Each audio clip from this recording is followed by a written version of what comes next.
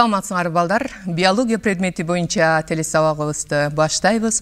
Сабакка даяр болсоңор дептериңерди ачып бүгүнкү сабактын темасын жазып алсаңар болот бүгүнкү сабагыбыздын темасы бактериялар жана алардын жашоо тиричилиги деп аталат сабактын жүрүшүндө бактериялар жана алардын түзүлүшү тиричилиги ошондой эле бактериялардын түрлөрү жана бактериялардын жаратылыштагы жана адамдын жашоо тиричилигиндеги ролу тууралуу билимдерге ээ болосуңар.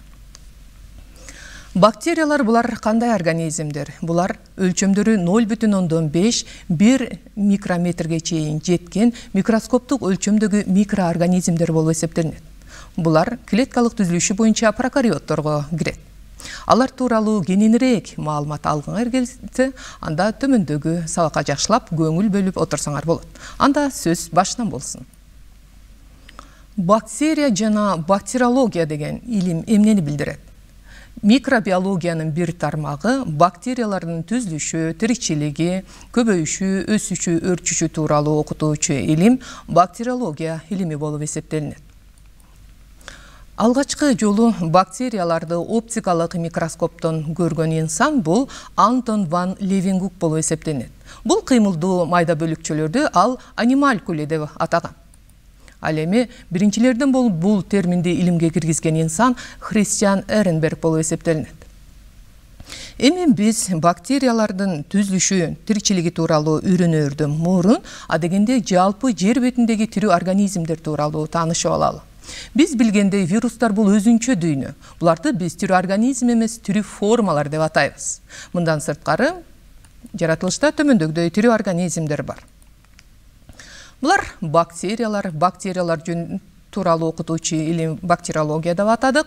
Козу карындар буларды окутуучу илим микология болуп эсептелинет. Өсүмдүктөр ботаника илими окутуп үйрөтөт жана жаныбарлар буну зоология илими окутуп үйрөтөт ушулардын ичинен биз бактерияларга кайрылабыз. Эгерде тирүү организмдердин клеткалык түзүлүшүнө кайрыла турган болсок алар прокариотторго жана эукариотторго ажырайт. Прокариоттор буларга бактериялар жана көк жашыл балырлар же цианобактериялар кирет.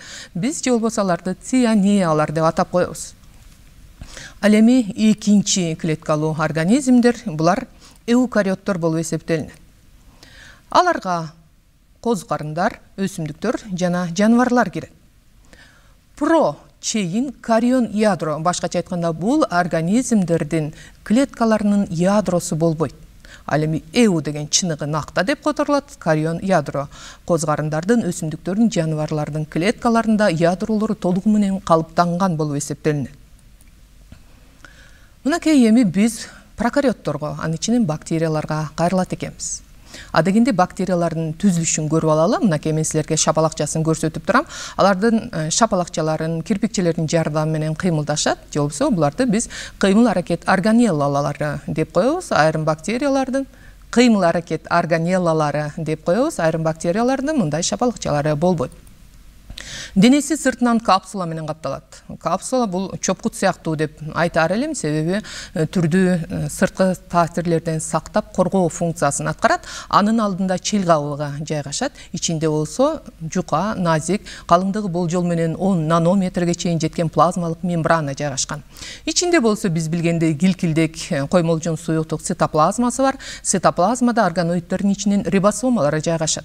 Булардын рибосомалары дагы өзгөчө рибосомасынан айырмаланып чоң жана кичинекей суб бирдиктеринин э, биримдиги жетимиш с болуп эсептелинет биз билгендей рибосомалар полисома түрүндө белокторду синтездешет эми кийинки бөлүгү нуклеоидине кайрылалы нуклеоид деген эмне бул прокариоттордун анын ичинде биз бактерияны алып отурабыз. Ошонун бактериялардын тукум куучу маалыматтары сакталган участокты же орунду биз нуклеоид деп атайбыз.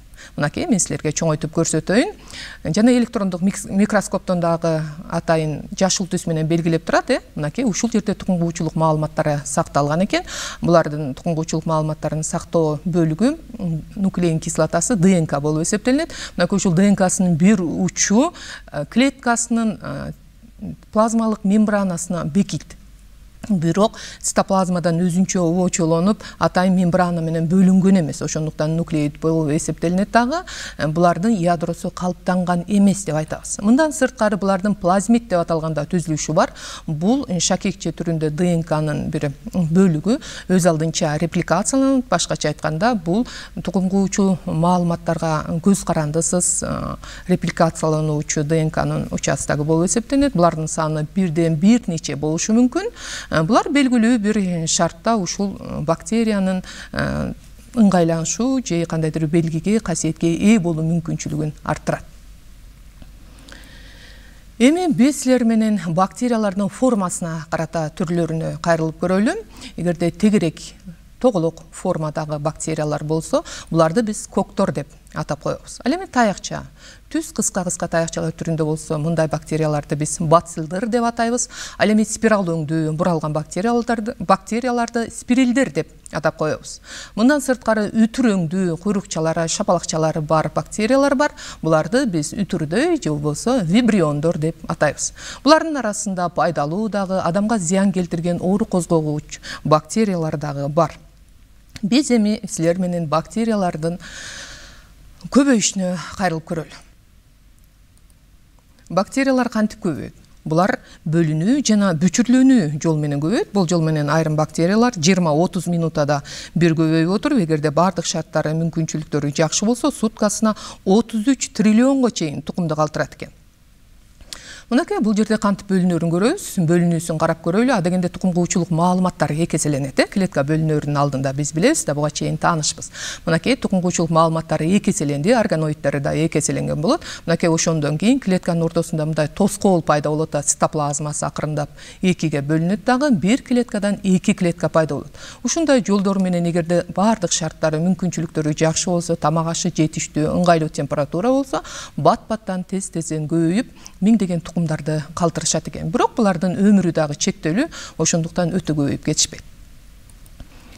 Мынакей булардын э, колонияларын силерге көрсөтүп турам бактериялар ыңгайсыз шарттарда булар төмөндөгүдөй атайын спораларды пайда кылышат көрүп турасыңарбы? Ичинде тукум куучулук маалыматтар гана калган сыртынан калың кабык менен капталып спораны пайда кылып атат. Ушул споралар кадимкидей чаң менен чаң болуп эле учуп жүрө беришет.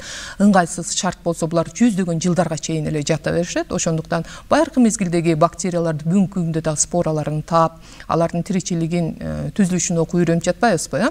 Мынакей ушул споралар бул бактерияларды ыңгайсыз шарттан сактайт дагы өзүнүн тукумун э, сактап калуунун бир э, ыңгайланышуу жолу деп карасаңар болот мындан сырткары бактериялар э, төмөндөгүдөй түрлөрүн дагы мындан сырткары бактериялардын төмөндөгүдөй дагы түрлөрүнө кайрылалы азыктанышы боюнча автотрофтук бактериялар жана гетеротрофтук бактериялар бар. Авто деген сөз жеке дегенди билдирет э? Мисалы автомобиль авторучка деп коебуз э атрофия азыктануу дегенди түшүндүрөт. Башкача айтканда мындай бактериялар өзүлөрү азыктануучу бактериялар. Буларга фотосинтездөөчү бактериялар жана хемосинтездөөчү бактериялар кирет. Ал эми гетеро ар кандай трофия азыктануу дегенди түшүндүрөт бул бактерияларга сапрофиттер жана мителер кирет.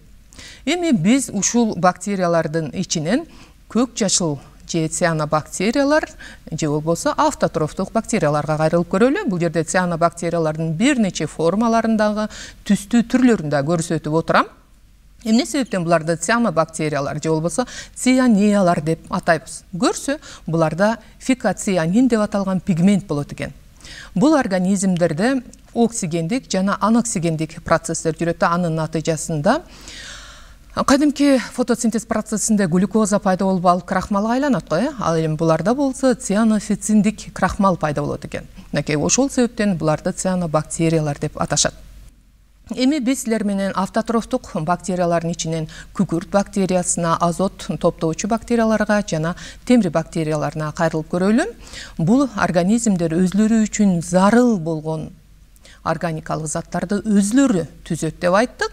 Алар кантип түзөт? Бул жерде мен силердин көңүлүңөрдү азот топтоочу бактерияга бургум келип турат мынакей ушул өзгөчө чанактуу өсүмдүктөрдүн тамырларында ушундай түймөктөр болот. Алды жагында мен клеткалык түзүлүшүн көрсөтүп турам тамырдын түкчөлөрү аркылуу азоттоптоочу бактериялар топурактан тамырга кирет дагы анын ичинде көбөйүшүп ушундай түймөктөрдү пайда кылат мынакей ушул тамыр түймөктөрү азот топтоочу бактериялардын түймөктөрү болуп эсептелинет экен. Эми буларды жакындан таанышып көрөлү биз алардын ичинен автотрофтордун ичинен хемотрофторго кайрылалы. Адегенде азот топтоочу бактерияларга кайрылып көрөлү. Мынакей мен силерге химиялык формасын көрсөтүп отурам бул жерде аммиактын кычкылданышынын эсебинен бул жерде экзотермикалык реакция жүрүп атат э. Жылуулукту бөлүнүп бөлүп чыгаруу менен жүргөн реакция. Биринчи реакцияда алты жүз алтымыш эки килоджоуль экинчиде болсо жүз бир килоджоуль энергия пайда болуп атат. Ушул бөлүнүп чыккан энергияны алар өзүлөрүнүн жашоо тиричилигинде пайдаланышат. Ал эми күкүрт бактериялар болсо күкүрттүү суутектин кычкылданышынын эсебинен бөлүнүп чыккан энергияны пайдаланышат. Бул жерде да көрүп турасыңар э алты жүз отуз алты килоджоуль жана эки жүз жетимиш эки килоджоуль энергия бөлүнүп чыгып атат мындан сырткары темир бактериялар болсо эквиваленттүү темирден үч валенттүү темирге өтүшүнүн эсебинен дагы энергия бөлүнүп чыгат. Ушул энергиянын эсебинен алар өзүлөрүнө керектүү болгон энергиянын булагы же болбосо аккумулятор деп коебуз э? Атфти синтездейт дагы ошол жардамы менен өзүлөрүнө зарыл болгон органикалык заттарды биосинтездей алышат. Эми биз силер менен жогорудагы маалыматтарды эске алуу менен суроого кайрылып көрөлү. Суроо эмне деп турат? Фотосинтез менен хемосинтез процессинин окшоштуктары эмнеде дейт. Анда жоопторго кайрылалы. Асы органикалык эмес заттардан органикалык заттар синтезделет. Бсы органикалык заттарды күн энергиясын пайдаланып синтездешет деп турат. Всы органикалык заттар ажырайт деген. Жооптору болду биринчиси асы экинчиси бсы үчүнчүсү всы төртүнчүсү б жана всы деген жооптор болду бир аз ойлонуп көрөлү мен жогоруда эле атап өттүм фотосинтез процессинде биз айтканбыз э фотон же болбосо күндүн келген жарык энергиясын пайдаланат ал эми хемосинтез процессинде болсо химиялык реакциялардан бөлүнүп чыккан башкача айтканда экзотермикалык реакциялардан бөлүнүп чыккан жылуулукту пайдаланып анан органикалык эмес заттардан органикалык заттарды синтездешет экен демек жооп белгилүү болду окшойт бул асы экен э? Органикалык эмес заттардан органикалык заттарды синтездөө. Эми биз силер менен бактериялардын дагы бир түрү болгон сүт кычкыл бактериясына кайрылалы деги эле сүт азыктары биздин баарыбызга маалым тааныш жана жакшы көргөн сүт азыктар булар айрандар кымыз сырдын бир нече түрлөрү быштак каймак булардын баардыгы сүт кычкыл бактериясынын жашоо тиричилигинин азыктары десек болчудай булар өзгөчө адамдын тамак сиңирүү системасына зор өбөлгө түзүүчү алардын тамак сиңирүү системасынын иш аракетин жакшыртуучу бактериялар болуп эсептелинет. Себеби алар өз кезегинде кальцийдин жана белоктун сиңишине чоң өбөлгө түзөт. Буларда эки процесс жүрөт. Сүт кычкыл ачуу жана спирттик ачуу. Спирттик ачуу бизге тааныш. Бул кымыздарды айрандарды дагы ушул жолдор менен биз өзгөчө кыргыздар өндүрүп алабыз. Эми биз силер менен гетеротрофтук бактерияларга анын ичинен сапрофиттерге кайрылып көрөлү сапрофиттер деген сөз буга чейин эле тааныш болуш керек. Булар тирүү организмдердин органикалык калдыктарын ажыратып минералдык заттарды пайда кылуучу э, биосферада орду чоң бактериялар болуп эсептелинет булардын натыйжасында топурактын пайда болуу процесси дагы жакшырат топурак түрдүү минералдык заттар менен байыйт демек жаратылышта булардын орду чоң экен бирок булардын арасында мите дагы бактериялар бар. Мите деген эмне эле эске салып алалычы э? Буга чейин биз таанышпыз да. Мите деген башка тирүү организмдин эсебинен жашаган организмдерди айтабыз аларды тек гана тамак аш катары гана пайдаланбастан жашоочу жай катары дагы пайдаланат. Мынакей бул жерде мен силерге кадимки эле кургак бактериясын көрсөтүп отурам өпкөнүн кургагучугу э? Туберкулез деп коебуз го эң кеңири таралган оорулардын бири. Мынакей ушуларды дагы көрсө бактериялар козгойт экен алардын жүрүү жолдору алдыда көрүнүп турат. Адамдан адамга жугулат экен жана үй жаныбарларынан өзгөчө бул бактериялар жугуштуу болуп эсептелинет экен.